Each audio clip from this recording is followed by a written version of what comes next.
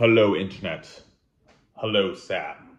Welcome to Henry's Kingdom. I don't know why I'm wearing a crown. I don't know why I have these here. I just feel like it gives me this regal air that I don't normally have. It's after campfire. It's been a little while for me. Um, Sam took a little while to make his episode, and then it was like a weird thing where he made his in the middle of the week. So I was like, uh, do I do it the same Friday? He made his episode three days ago, or do I wait? And I decided to wait. So welcome. It's time for Henry's Diary of How to Adult. I'll why why am I wearing the crown? I'll explain that in a minute, I guess. Whatever. Uh life. L'chaim. Um I don't know. It's not a lot to say. What's interesting though, and this is gonna go back to Sam's question for me of like why what after campfire episodes I like to go back and watch is um starting this coming week, um my working at Amazon, we have to start going into the office three times a week. Um, as we've only been doing one, so that's going to be a big change. I didn't really want to go down and up to three days a week. I was hoping we'd do something more like two, and who knows if they're going to push it to try to push it to five down the line. Don't know. It's better for new people, I guess, but I'm I I got used to a system, and change is scary. Um, that's like kind of the big thing. Um, it's also funny because like one thing that's been nice about work from home is working remotely. Like I've worked from the East Coast. Um, I don't think I've worked from your place, Sam. I think I may have stayed with you and then went to New York City when I was when I was uh, dealing with some medical issues last summer, and that was fun. I also worked from Alicia's house one day because of that. Um, but uh, later this month, in fact, it might be during not my next episode, during at the, at the end of the month, I'm going to Mexico with my sister, and we're gonna work from there for a week and stuff. So that'll be fun. So, my question to Sam. So the thing that I asked him about was like, what is something like you're really proud of that you've like accomplished in like the last two years or so? And uh, for me, it's like, uh, I feel like I've already kind of talked about the things that I would answer for that. So like, I'm like randomly decided to jokingly wear this crown because like this crown is the monarch token for our magic game night. Uh, there's a mechanic called monarch. You become the monarch and then people try to become the monarch by taking it from you. Um, the two like really big things in the past few years or three i guess that have been pretty notable in my life is kind of just like gained like kind of reestablished a reestablished community post pandemic and a lot of that community has been stuff like my magic nights that have kind of like are something that I support and have created like a space for people to feel welcome and something that's really fun about that is last week we had a new person uh, yesterday we had two new people so like i've created an environment for people to join and that makes me happy and i get to play things that i really like. Um and I'm glad I've made that space for people. I'm glad I have that space for me. Um, other thing being house. Look, I accomplished such an adult thing. House.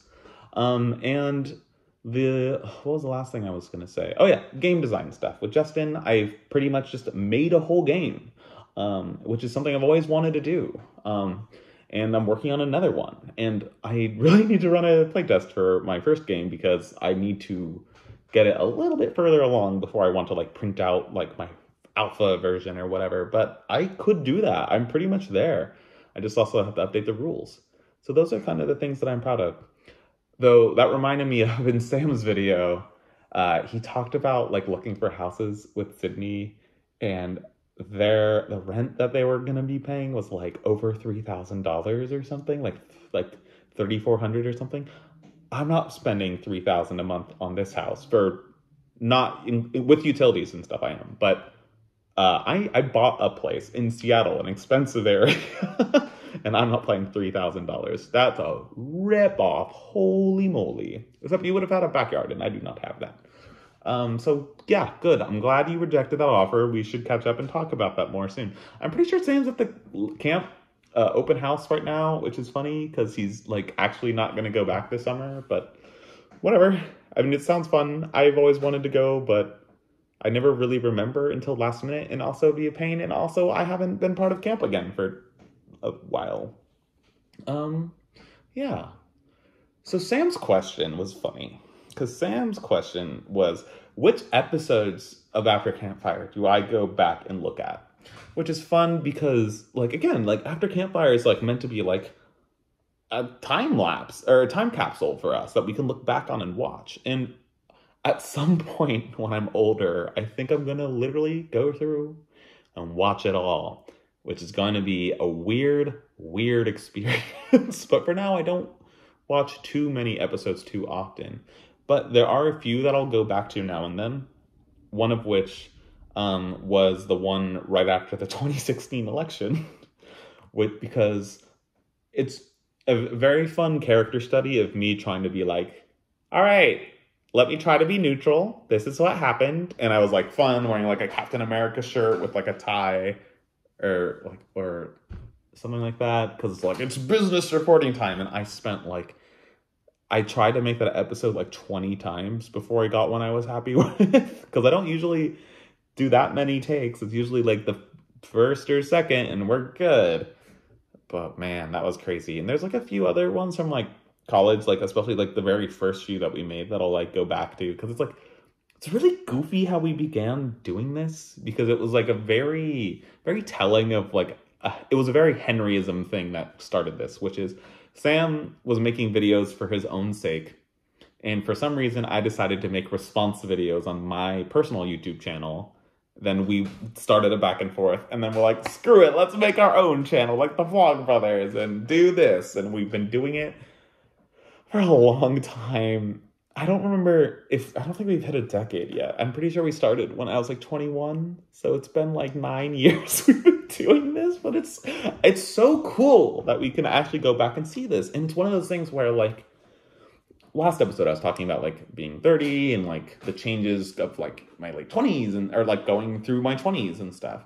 And it's funny to look back at like I kind of like forget like how different I was like image like maturity wise and stuff when I was in my young 20s. Like it's always funny when you see people online talk about like like I'm 30, but like and I feel like I'm like 20 until I hang out with 20 year olds and you're like, oh god, I'm 30. like I definitely am much more comfortable in that mindset now where I'm like, no, I am not 20 year old. 20 year olds to me are children. Um for me, until you've like lived and worked in the adult world for like a year, you are a child.